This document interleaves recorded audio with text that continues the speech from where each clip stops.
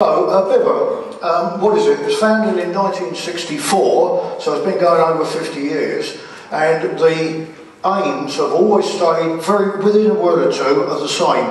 So it's the conservation, restoration, study, selection, improvement of the native and near native honeybees of Britain and Ireland.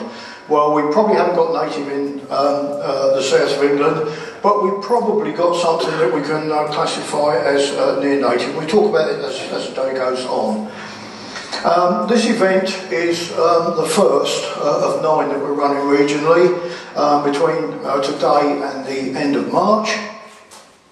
And uh, I have to tell you that um, a couple of days ago we broke through the thousand booking uh, barrier. So um, uh, they're obviously very popular, as we can see by the um, crowd here today.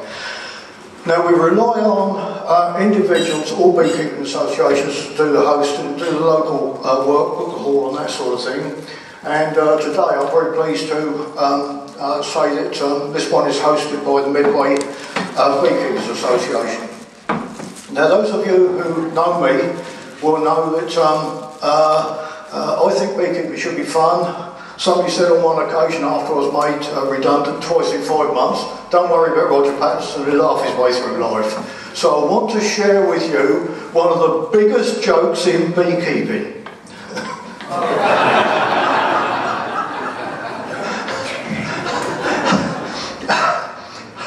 I thought you'd recognise that, but seriously, um, uh, Bob phoned me up not that long ago, actually, just before Christmas, I think, and said, Look, I'm in Kent. Um, uh, I can't really get across to the closest one in West Sussex. He said, The nearest one to me is uh, Suffolk.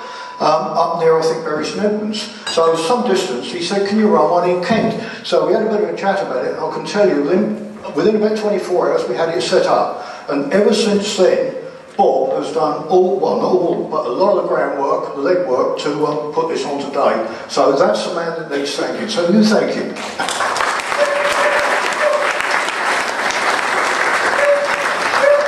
Um, incidentally, the West Sussex one, which Bob, was going to go to, which was for the South East, that's fairly close to being sold out as well.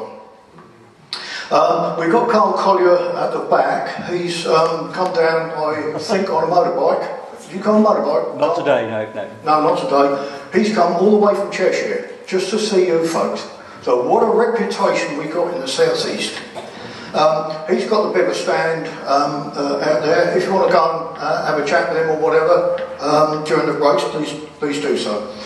We've also got um, Sandra Gray, the uh, NBU bee inspector, with a, a, display down at the back end.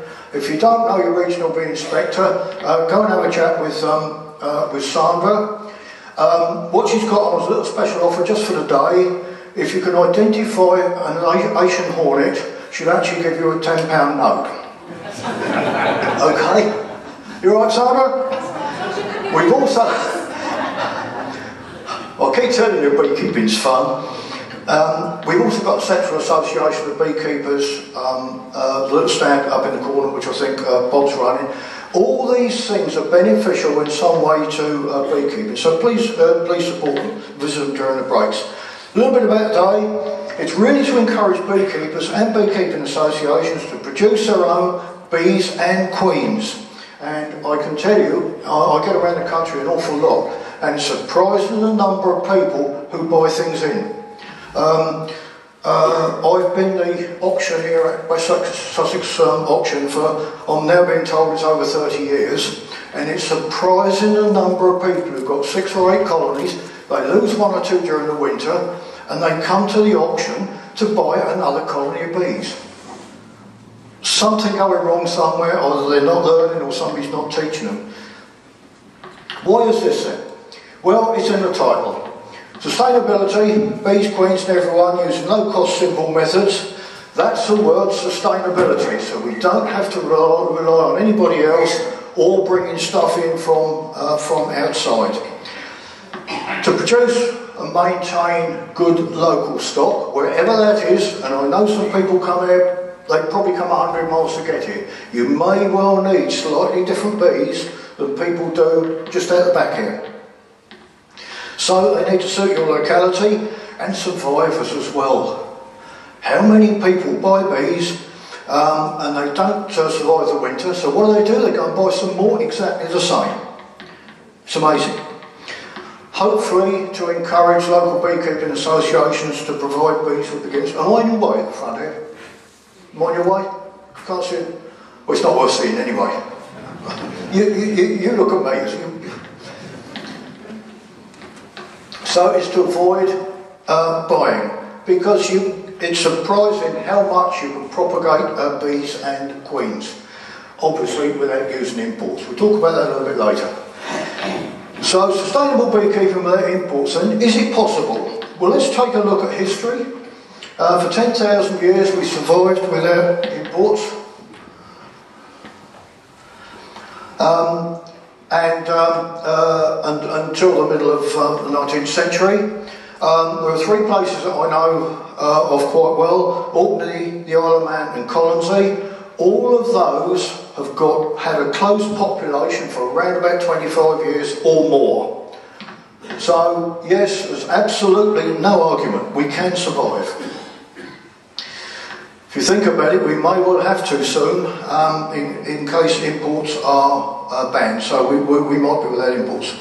So what we're really doing is propagating. Bees and queens, and the two of them will go together. You can't propagate bees without the queen to go with them, so they, they, they've got to go together. The bees actually give us lots of opportunities during the summer uh, to improve our bees as well, because all the time we're re re replacing queens, um, we, we can look for something a bit better. But we do need to understand what's happening, and I'm afraid there's going to be quite a lot of explanation here, um, because I guess we've got, excuse me, uh, we've got quite a wide um, diversity of abilities and knowledge in the audience, and I've got to explain it, obviously, for the new ones coming in. So there's going to be quite a bit of explanation. But I have to be honest, those of you who've heard or seen any my lectures before, there's going to be some repetition because some of the slides I'm using here and some of the points I'm using here are used in various other presentations. I can tell you some of it won't be found in books, so um, and some of it may well be frowned upon by by uh, uh, some of the higher ups. Not there's too many of them, but you know, you know it's like in beekeeping. Um, over 50 some odd years of, of, keeping bees, you actually find out ways of doing things, or you see um, see other people doing things, and they're never in books. That doesn't mean to say they're wrong, and doesn't mean to say they should be discredited. Um, so perhaps if you're doing your examinations, um, uh, perhaps don't um, write down the, uh, the, the methods that I'm telling you. Uh, unless, of course, you, um, uh, you tell them the source you got it from, in which case you're bound to fail. I'm going to give a few examples uh, during the day. They're all absolutely genuine, but I'm going to try not to identify anyone or a, a beekeeping association. I'm really just um, using them as, um, as sort of, sort of examples. So what I'll tell you today is uh, my opinion, not necessarily BIBBA's. I haven't passed anything by uh, at all. But I'm going to be aiming at all beekeepers, so I'm going to try and satisfy all of you because I've already said, there must be a wide experience and knowledge range. Um, we've got beekeepers here, we've got beekeeping uh, association officials, and we've also got teachers as well. You've had enough already? Good. She didn't pay. Um, so please listen to it all because I think it's going to be much relevant for everybody. But I haven't got any time to go into any great detail, so don't think you're going to learn very much about a particular system uh, today. Uh, that will be covered by other events, either by BIBBA or your local associations, wherever you come from. So who's out there then? How many of you got no bees yet? Hope I don't put you off to the end of the day. Less than five years been keeping bees. Count Bob, got it? Been keeping bees between five and ten years. Are you counting Karl? Yep. Good stuff. Over ten years. Getting less, isn't it? Getting less. Who's got five colonies or less? You put your hand up once, Jeff. No, I, th- A. Who's got between 6 and 20 colonies? That's quite a sizable number, yeah, okay. Between 21 and 50. So, and over 50. Right, we've still got some, so I guess you'll probably consider yourself a bee farmers. right, how many of you are teachers, demonstrators, speakers, to beekeepers, I mean? Do things locally. Right. How many of you beekeeping association officials or committee? Hands seem to be going up slower then, don't they? yeah. How many apiary managers? Good, I'm on your side. Let's look at apiary managers first. Personally, I think um, uh, they're a very important part of bee, uh, Beekeeping Association.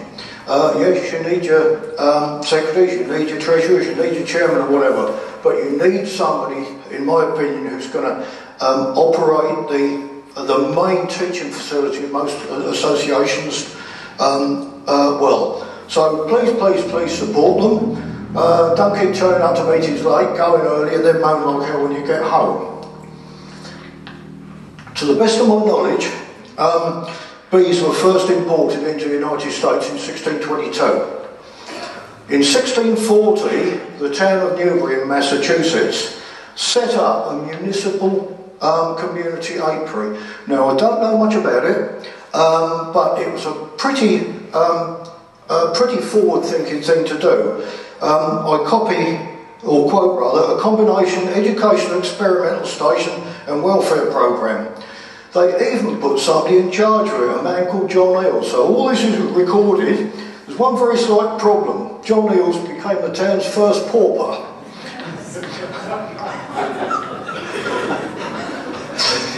right, so uh, I'm, I'm, I'm actually uh, apiary manager as well, so I thought you'd like a bit of fun. But about my beekeeping, I've been keeping bees since 1963. At one stage I had about 130 colonies and using bees as part of my living, although I was um, uh, working full time at the same time. Uh, and had three children and played cricket twice a week, but we, we, we, won't, we won't go into that. I've always produced bees, queens and honey throughout my beekeeping uh, life, even from the very uh, early stages. I've been demonstrating since the early 1970s and currently, um, since 2013, I've given over 60 presentations a year plus the local um, uh, association. In fact, I gave one Friday night and I think there's somebody here who was, um, who was there. A lot of mine are all day, so I get around, I see a lot of beekeepers. I'm apiary manager in Wisborough Green, as I told you. I'm a practical beekeeper. Not too much scientific about me. So I understand your needs, whether, without being disrespectful, where the ordinary beekeeper is, is coming from. And that's a majority, as we found out earlier. So I'm speaking to you from experience, what the bees have told me, not just read a book and then just stand up in front of an audience. Um, in that time, of course, I've used um, uh, an awful lot of methods. Try this, try that, try something else. I've used and handled lots of different kinds of bees in different kinds of hives too. I've travelled my, uh, widely, mainly in the UK and Ireland, where of course I handle a lot of bees, speak to a lot of beekeepers, folks like you, uh, lunchtimes after the event, all the rest of it, seen a lot of beekeeping associations, um, a lot of teaching facilities too, a lot of um, uh, uh, apiaries. So I've heard a lot of speakers, teachers, demonstrators, um, loads of different theories and advice, but I've always listened, always. Uh, and I think that's the important thing to do. I've formed the opinion that you definitely can't judge a beekeeper by the length of time they've been beekeeping, because I can tell you there's some really good potential beekeepers been keeping bees a year or two, and some absolute hopeless ones that have been keeping bees 20, 30, or even sometimes 40 years. I'm not talking about anyone in particular.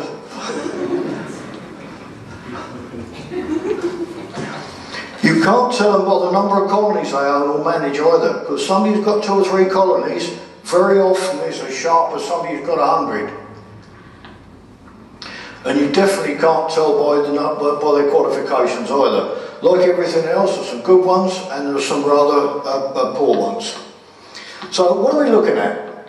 Why are we here? Well, here's the official um, EU uh, figures for queens imported uh, from the uh, uh, from the EU. Now they're not exactly exact figures because they're ones that apparently are booked in. But just have a look, see what's happened in eight years. It's gone from four and a half thousand to four times the amount imported. But how many are imported illegally? Somebody just gets online, orders something from, I don't know, Romania or somewhere like that, or Greece, or, or, or whatever, and it just bypasses the system. In 2018, how many queens were imported from Argentina?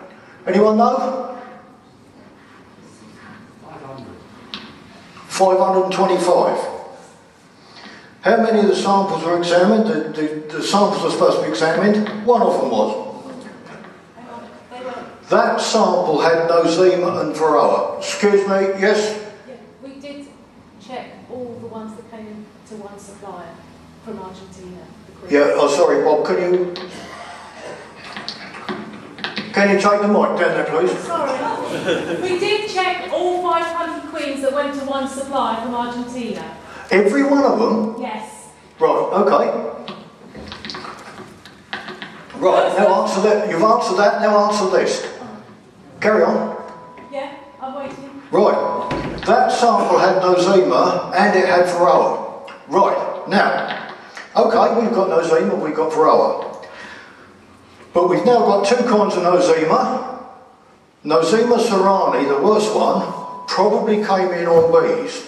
So, as a result of importation, don't worry, Sandra, I'm not getting at the NBU, uh, I support them, don't worry about that. Um, right, now Varroa. Now, I'm an engineer, not a biologist, but if the Varroa were um, resistant to a, uh, a, treatment that we haven't got, could it be that we could get a, um, a little population of Varroa that are resistant to that particular product, so that means that we can't use it in the future. I don't know, I hope somebody's um, uh, worked that one out. It's exactly the same figure as in 2017, or according to the website it is. But I ask the question, what long-term benefit, long-term benefit, uh, are queens from Argentina? I don't know, can anyone tell me? Hang on a minute, Argentina. How many of you folk know that they've got Africanised bees in Argentina? Nothing to do with disease. I'll leave it there. Leave that one there. So why do we have imports? The reasons often given are increased genetic diversity, um, you get queens early in the season, uh, negative comments about what's already here, so we need something better, uh, commercial interests, quite a big uh, I think that is. They're more prolific. Got to have big colonies, got to have big colonies. I'll talk about that later. Make up for winter losses. Why do we have winter losses? But let's, let's, let's um, talk about that later. Higher yields. All these, on paper, are fairly logical points, but I think some of them are actually false logic. So we're going to look at them later. Other reasons, grass is greener. There's a hill over there, and the bees the other side are better than what we got. Let's try them. We've been doing that for 170 years or whatever. Selfishness, I'm afraid. I'm going to have a lot. I'm not going to be told. I'm going to take notes of anybody else. I'm going to keep bringing them in every year. Just get online and see how arrogant some of the comments are about um, uh, by people who import queens. Just do it. Let's just look at increased genetic diversity because that one keeps coming up even from ordinary beekeepers. So do individuals really import queens for that reason? I don't think any of you folk are going to. There's a hand back there. We've got around about a quarter of a million managed colonies in England and Wales, plus a feral, so let's say 300,000 uh, as a probably a bare minimum.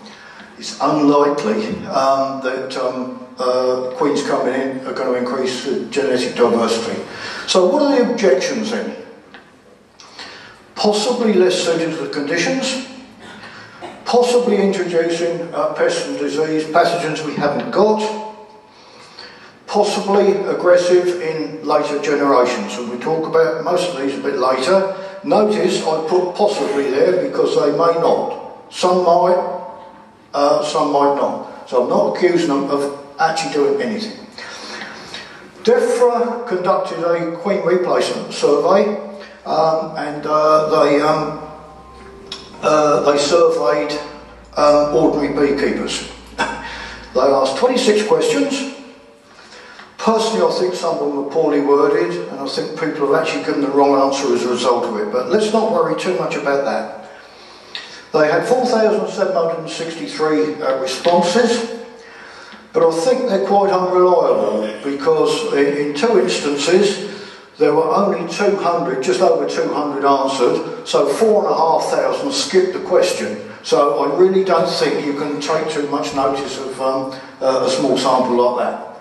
However, they did raise some uh, really good points, um, and we'll be discussing some of those later. Um, uh, now, I've selected a few questions. It might be relevant to some of you folk here. Question 11 was, why did you purchase queens instead of rearing them yourself? I do not have experience to raise my own queens, 41%. Well, that might be for uh, a number of reasons, including perhaps I asked people who only just come in, um, into beekeeping. I do not have the time needed to raise queens, 16. Um, percent. Um, both of those, I think, for the vast majority of uh, beekeepers, they're actually doing a lot of it anyway, so I really don't see why they answered like that. Need the queens early in the season, 12%. Bought-in queens are more cost effective. How they can quite work that out, I don't know, but 7%, I assume it might be uh, commercial beekeepers. To improve the temperament in the colony, so they admit that they've got a problem with their bees, 35%, and to improve productivity, uh, 23%. Um, all of those, I think, we will be covering uh, later. So what form of assistance would help you to increase the number of queens uh, you rear in future?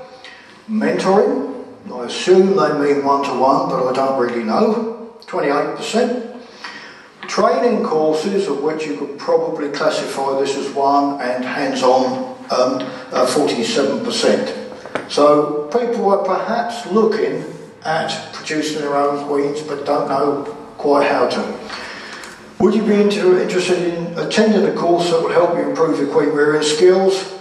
Uh, 59, 60% said yes. 22% said no. Now, is that people who just aren't the slightest bit interested, or perhaps people who know how to do it? I don't know. The don't know unsure was 18%. Are you part of a breeding improvement program? 95% said no. Well, I think um, by the end of the day we can work out that perhaps local beekeeping associations can help um, uh, people produce uh, decent queens. So hopefully we can get that figure down. Do you think the mixing of native, native and imported honey strains is positive only 12%, which I, I, I, think is, is a lot lower than I, I expected. Negative effect, 45%, um, so nearly half. And the don't knows and unsures, it's only a shade less than that. Uh, and that I think is a sort of worrying trend that perhaps um, we can address. Would you be in favour of a national breeding uh, program for England based on the native, near-native subspecies, subspecies Apis mellifera mellifera. Right, yes, 80%, no, 9%, don't know, 12%. Now, no disrespect to the ordinary beekeeper, but I'd be surprised if many in this room um, have actually had experience of um, handling pure Apis mellifera mellifera. Has anybody? Any of you? One? That's why I think we've got to treat these figures with a little bit of caution. But they're asking the right questions, I think. So they're all good points. Um, we need to address them somehow, not just in this room, but beekeeping generally. Beekeepers need to learn, but how? We're all involved. On one hand, we're all individuals, but we're all part of a National Beekeeping Association. We're all presumably part of a local beekeeping association. So perhaps there ought to be something that brings everybody together so that um, uh, we end up with hopefully better bees in this country.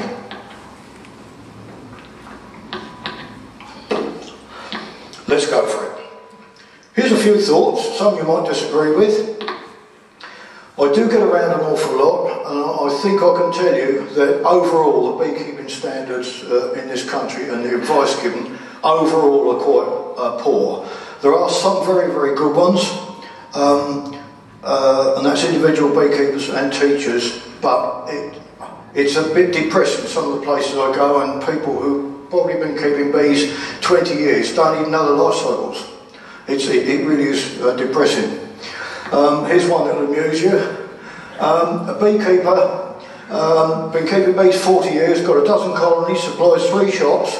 He's a, a, a sheep farmer and he, um, he's always got honey. But when I inspected his colonies, which he looks at regularly, I showed him the first queen he'd ever seen in his hive. First queen. It, it amazed me. And he wasn't joking, he wasn't pulling the leg at all.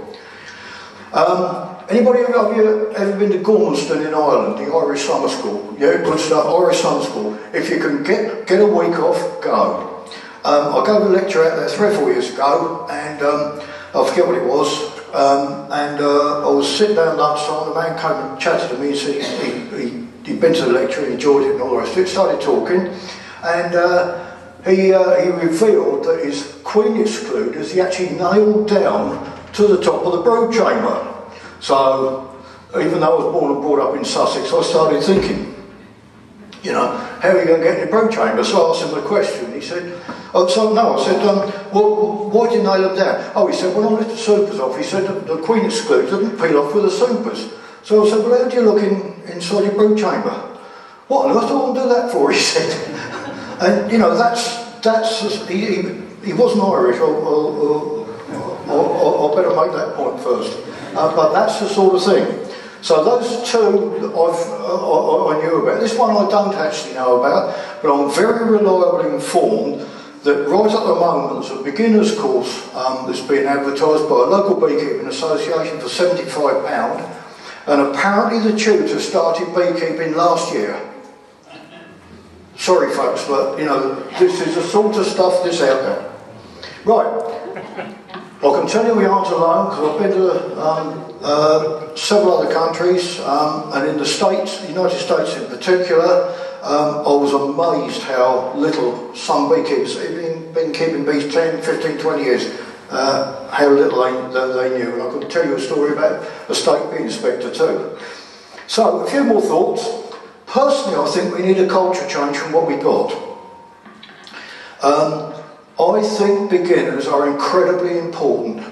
I really do. And it's in the very first year, the first year or two, that I think is important for um, uh, beekeepers learning. So is the rest. So they shouldn't be abandoned, beekeepers shouldn't be abandoned uh, after that. in my book, beekeepers need to have um, a certain number of um, uh, abilities. Uh, the powers of observation, because um, you need to see what's happening in the colony, something that's perhaps, wrong. You also need to know what's going right too. Um, you very, very definitely need lateral thinking. What's going to happen in this colony in an hour, tomorrow, the day after tomorrow, next week, three weeks' time? You really got to work out what's going to happen. And um, some are very good at it, others I'm afraid aren't. And of course, common sense, which we all know about from the workplace. It ain't as common as it used to be. I always encourage beekeepers to challenge what they're told. Even what I'm telling you, challenge it. Think to yourself, well, does that add up from the knowledge that you've got? Um, try and work out if what you're told is correct, rather than uh, somebody tells you, oh, they must be a good beekeeper because uh, this, that, or the other. I'll go and do that work, go, go, go home and see if it, if it works, try and work it through and see if it um, actually works. You can also do simple experiments. And um, if, you, if you do that, you very often find that some of the stuff you're told isn't always correct. And uh, uh, the example that I uh, give as often as I can is we all get in a situation where you take a queen away from a colony. Go to that colony every, uh, every day for three weeks, at roughly the same time each day, and it is surprising what you'll learn. Surprising. One of the things is um, uh, the, uh, the, the age of larva. So let's say if you go in five days after you took the queen away, the smallest larva, that's what a, a five-day-old larva looks like. Seven days, all sorts of things like that. You can do simple little experiments yourself. Even more thoughts. I think we need to provide good, sound information. Somehow we've got to negate um, the poor information uh, that's out there, the sort of stuff that just keeps um, uh, being recycled, that the more experienced beekeepers know isn't always correct. And please, please, please think locally. Even in Kent, I suspect beekeeping down in Dover is probably different than up in somewhere like Bromley.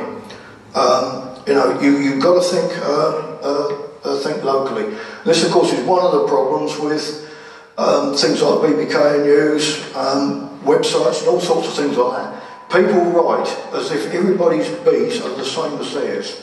And uh, you know, some places I go to the in, in the country, and um, uh, one in particular in North Wales, beekeeper's got um, a small hold in there, and he can't keep more than four to six colonies in his back garden, or you know, on his um, on his small holding really, um, and that's because the area is very very marginally marginal for bees. If he takes those bees 15 miles away to what, he call, what they call the, the Wrexham Plain, they do brilliantly. They're totally different colonies. So even that, um, uh, that short distance apart, bees, uh, bees are different. And um, that it's only when you get the benefit of going around and seeing uh, different um, bees in different places that you understand these.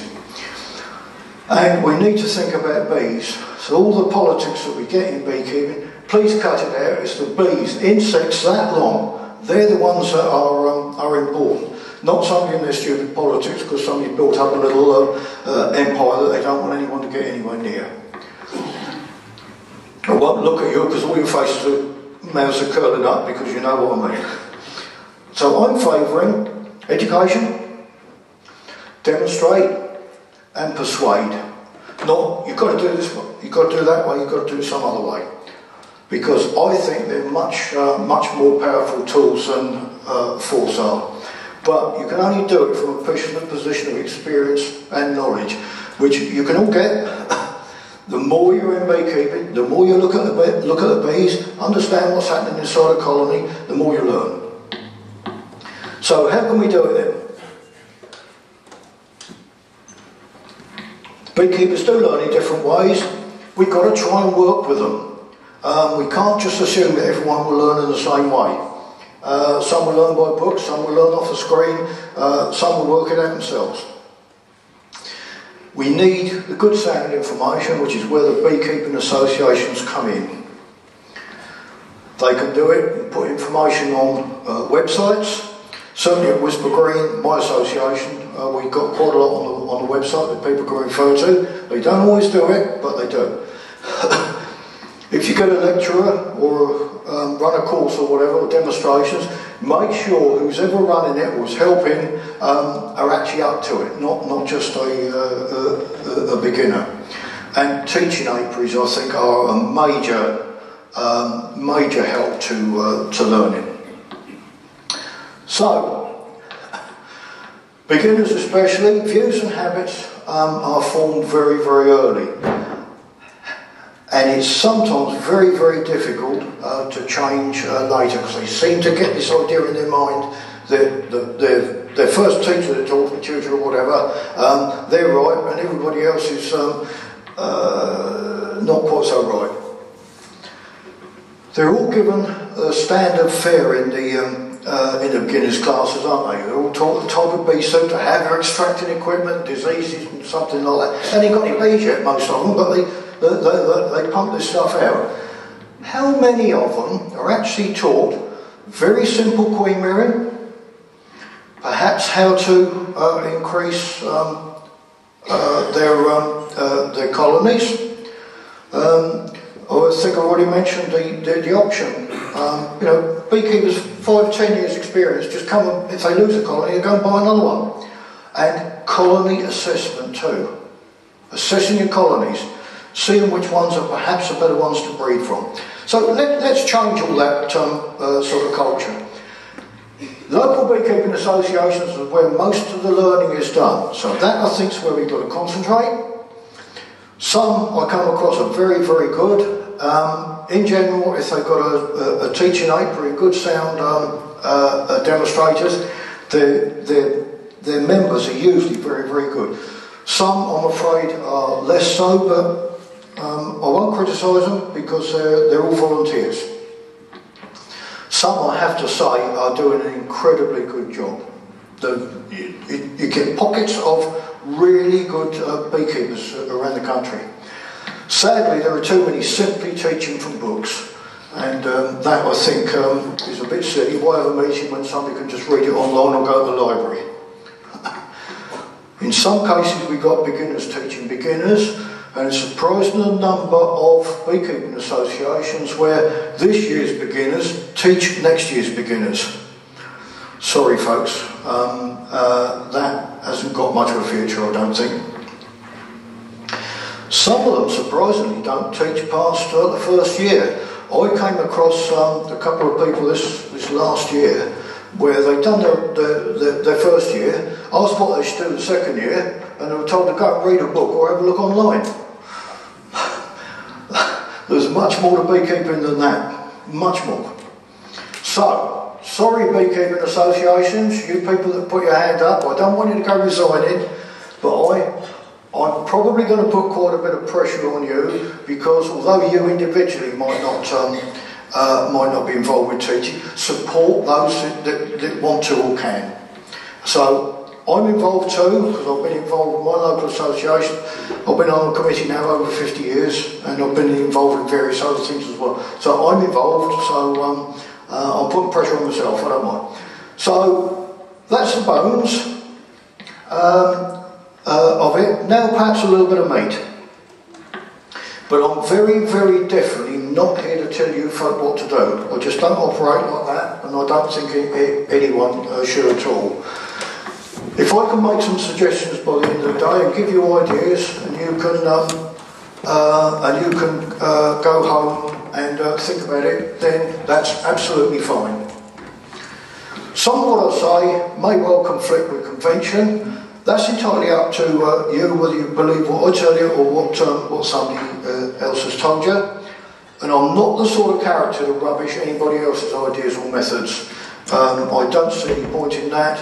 Um, people do different things for different reasons, for different situations, and all sorts of things like that. And uh, it may well suit what they're doing. It's not for me or anybody else to knock those, um, knock those, unless of course they're not looking after bees properly and caring for them. And I'm going to try not to undermine your teachers uh, too. But there may well be some things later on that um, you might or your teacher might disagree with. So for the day, please. Um, I wanted to try and remove any mental barriers you might have that uh, uh, the beast might do this or do that or something else. So uh, us know what you've been told, please. I'll ask you to bring it back at the end of the day. Please, please, please just have an open mind to something that's different, perhaps something that's new, perhaps something you're not used to. You see if what I say suits you. If not, modify either what you're doing or what I'm uh, telling you or completely reject it. I really don't mind. Um, as long as you've listened, that's fine. But I hope you're going to be nice and positive and think, yes, I can do that. And there are some things I'm going to ask you to do, like culling queens. And when I mean cull, I mean cull, not just put in a little box just in case. If there's something wrong with a queen, just get her out of it. And plan for the coming season. Do it locally, do it in your own sort of uh, groups because you you know your own uh, situation. Uh, I know we've got some people here from Hampshire, and I know they've got different types of bees down in Hampshire that probably some uh, some of you, you, you folk have. Some of uh, some of that's historical from teachers that have been in the past, but they've got to do things perhaps a little bit differently than uh, than, than, than somebody else has. Now, beekeeping systems, every one of you has got one, even those that haven't got bees yet. You've got a system because you've probably done a bit of reading, done a bit of uh, uh, learning, and you think how you're going to keep your bees when you when you get them. Um, even though you may have exactly the same teacher, all of you, they're all going to be different because it's going to suit um, uh, whatever your situation is. Um, could be circumstances, time available, um, your ability, knowledge, interest in beekeeping, number of colonies you've got, number of opinions you've heard, uh, and confusion too, because there's an awful lot of confusion in beekeeping. I've absolutely no idea where it comes from. Just don't know. I'll pinch this off the internet because I thought, thought it summed up beekeeping brilliantly because there are many ways of getting from here uh, to here. What you've got to do is pick whatever suits your system that you've worked out the way you want to keep your bees. And my system is based on simple management techniques.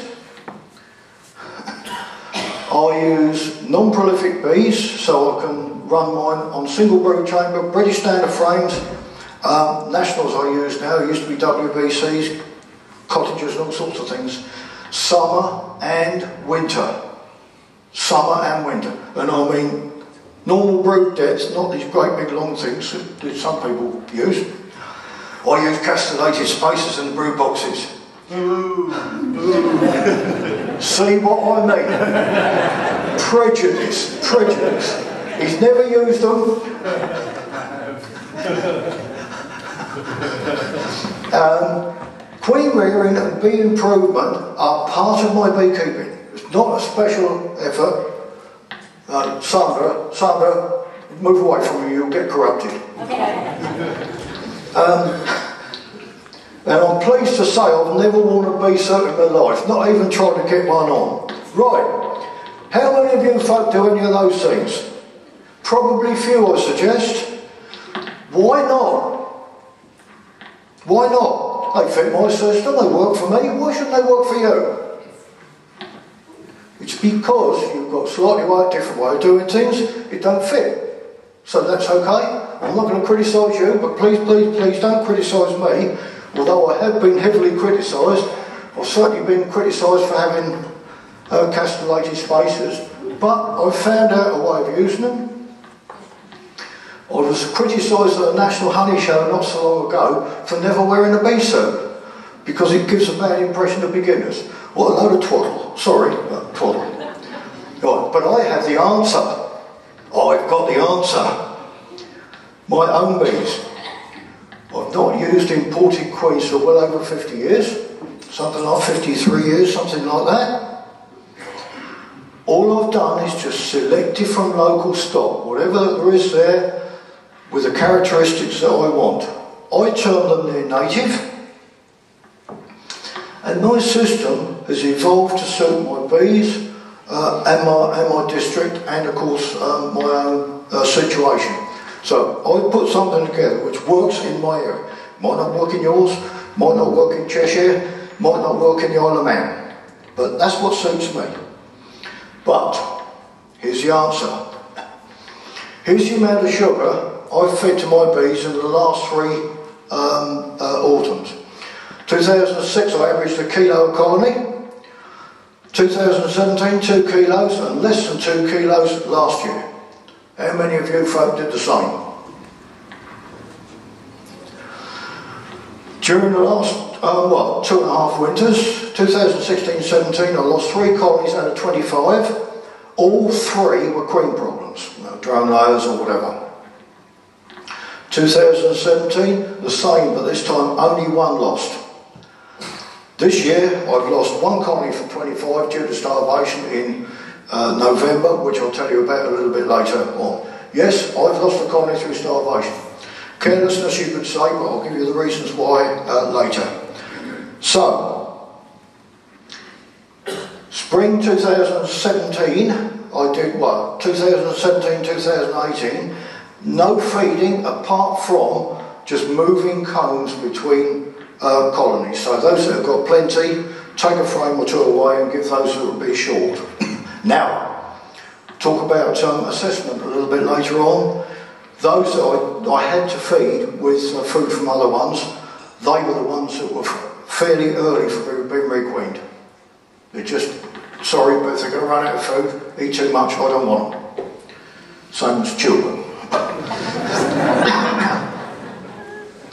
now in both years, both the last two summers, I've averaged just over £100 of honey per colony, and that's in an area that's midland for, um, uh, uh, for, for forage. Um, it really isn't very good. So I think that's, uh, that's pretty good. Um, I think you can say it's successful and um, sustainable as well because I had no, um, no need to bring in stuff from outside. Two of our members, uh, one I'll call John because that's his name.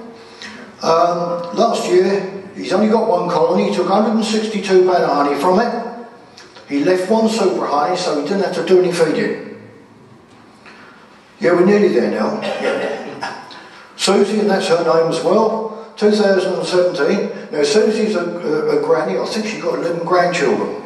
And uh, she, she's very busy, she plays about three games of golf a week and all the rest of it. And uh, in 2017, she took 675 pound of honey from seven colonies.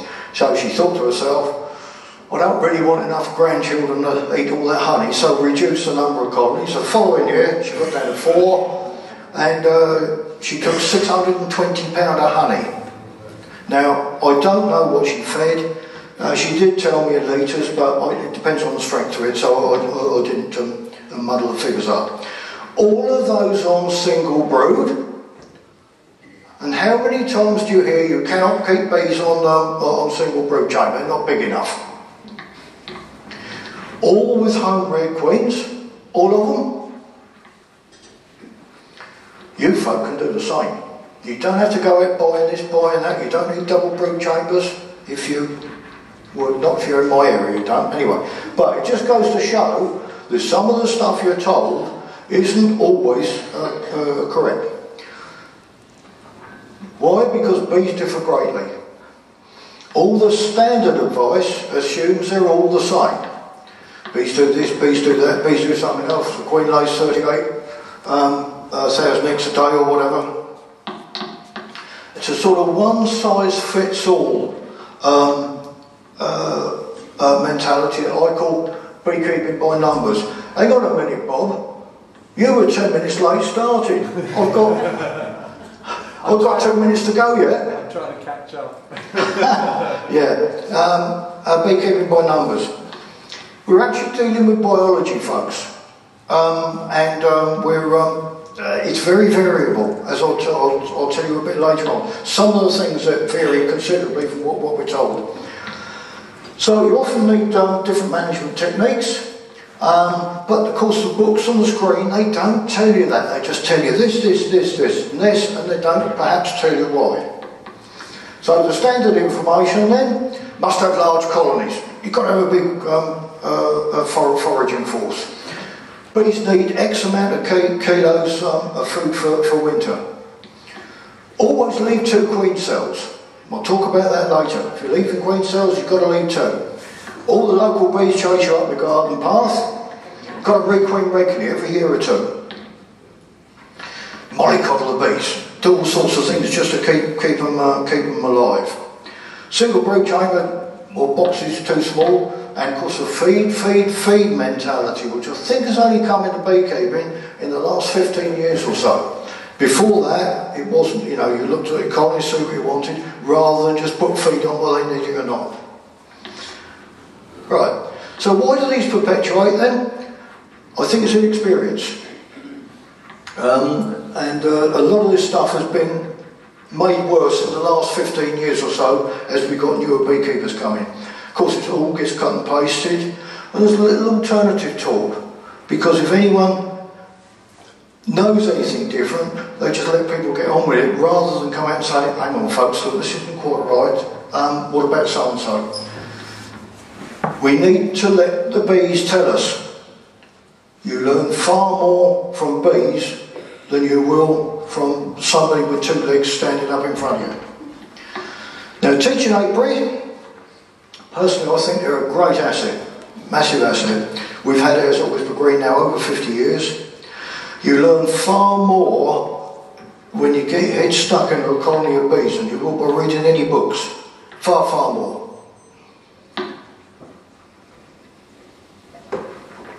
It does need to be well managed um, so you can keep the interest of the um, uh, of the uh, members. So give them good sound useful information with experienced demonstrators if you possibly can. Please, please, please don't just give um, don't think, oh, the, the, beginners don't matter, they're only beginners, and give them your worst demonstrators. They're the, they're the ones that need the good demonstrators, so they can pull them up if something, um, something needs doing, or perhaps point things out that the poorer demonstrator won't even see in the first place. So the management techniques you can uh, teach, a colony assessment, queen rearing, um, a colony increase, you can provide bees and queens for your members too, and I'll explain that um, about, probably about 20 past nine tonight. Um, include them in your teaching. Include them. Here's one a very good uh, teaching apiary I demonstrated that. They got plenty of room there. Um, I'm not deliberately criticising them, but I think they could probably make slightly better use of it. Um, what you could do is perhaps have a queen rearing section up one end of it. If they spread things out a little bit differently, um, but that's what they had. That's fine. But if you if you're lucky enough to have that a teaching apiary like that with a couple of sheds, um, that car park that's a lot. This is another one in an old wall garden. Similar sort of situation. Now in in this case, um, they had some absolutely brilliant bees there in an area where um, the surrounding bees are, let's say, quite ordinary. Uh, this guy had been keeping bees, I think, 60 years, He was the apiary manager. He was, he was well into his 80s, and uh, he had some really good bees there. This one here, it was in a two acre field, right up in the corner.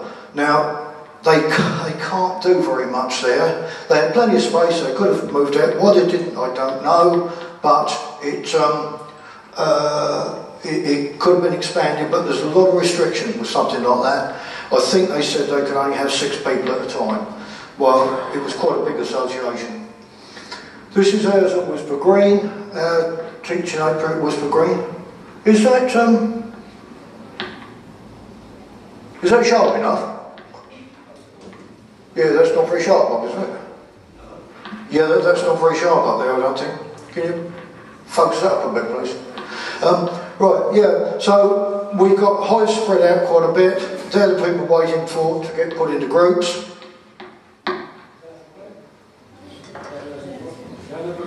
Yeah, okay. Sorry about that, folks. Right.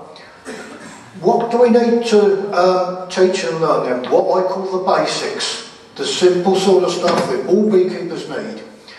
Um, but relevant to today's topic, life cycles, surprising number of people that don't know them.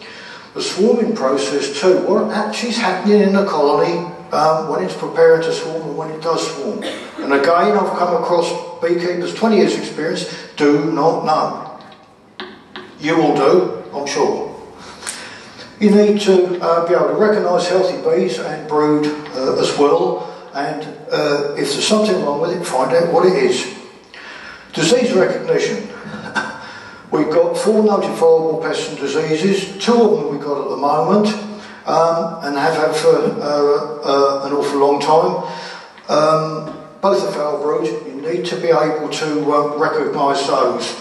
And I don't know what the figures are at the moment, um, but it used to be 80% of foul brood was discovered by the bee inspectors on their inspections. That, I think, is appalling, quite frankly. Um, we should be teaching them um, uh, a lot, um, a, a, a, lot more than that. Right.